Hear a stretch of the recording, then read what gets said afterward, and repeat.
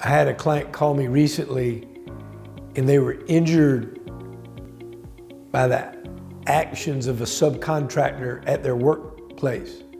My client asked me, were they able to make a claim against this subcontractor for their negligence? Are they only limited to workers' compensation from their employer? If you're listening to this video, you may have similar questions. I'll explain to you what I explained to my client. You cannot sue your direct employer for your injuries and damages in circuit court in South Carolina.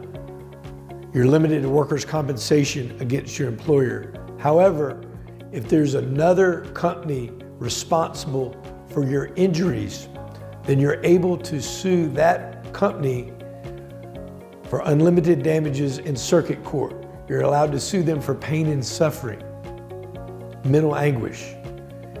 If you have any questions about your South Carolina workers' compensation case, give us a call.